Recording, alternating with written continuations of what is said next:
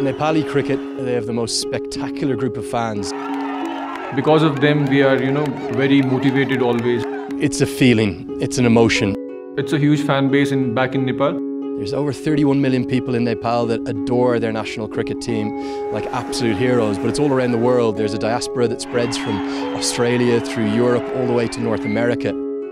They came in every situation like uh, there is one photo as well in the ICC page that it's raining but the crowd is still there holding the umbrella and it went viral.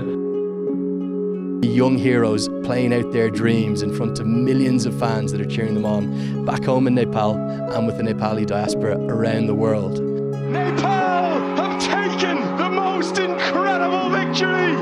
look at the reactions of the likes of Dev Khanal to that win against Afghanistan, you can understand the emotion.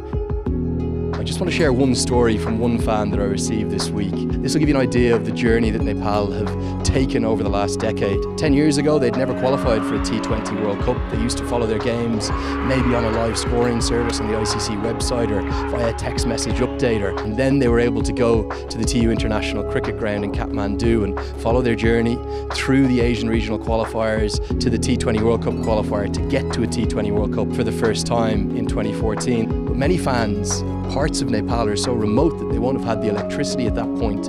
Outskirts of Birgunj, they had to crowd towards a hospital. That was the only place they could get the electricity to watch Nepal get to that T20 World Cup. And a decade on, this fan messaged me just to thank us for the coverage that we provide, not just through the pathway events, but now at the ICC major events.